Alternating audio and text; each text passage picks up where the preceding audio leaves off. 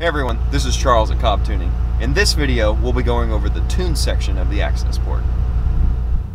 Alright, go ahead and find the tune section on the main menu of the Accessport and we'll go ahead and enter it.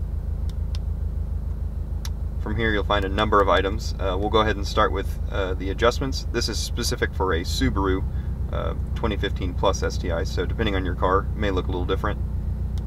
Inside the adjustment section you'll find uh, ways to adjust your idle, timing, flat foot shifting, launch control, etc. You'll also be able to change the map.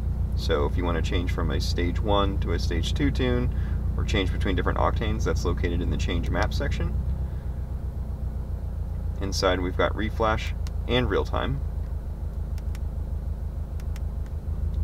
Restore OTS maps, so for whatever reason, if the off-the-shelf maps are removed from the Accessport, you can restore them here by selecting Restore OTS Maps.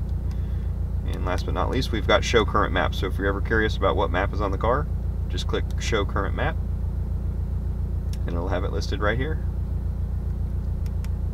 Thanks for watching.